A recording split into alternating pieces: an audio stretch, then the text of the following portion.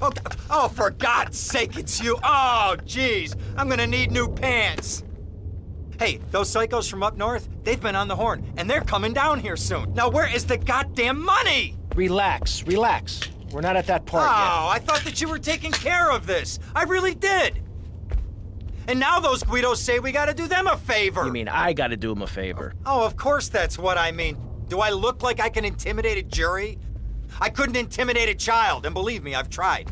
Now look, it's either that or Forelli's cousin Giorgio gets five years for fraud. You gotta take these guys out. I understand. Help the jury change their minds. Don't worry about No, it. No, no, no, no, no, no! I tried that. The jury case didn't go so well. So make them change their minds. Hooray, more crap to wipe up. What did I do wrong in a past life?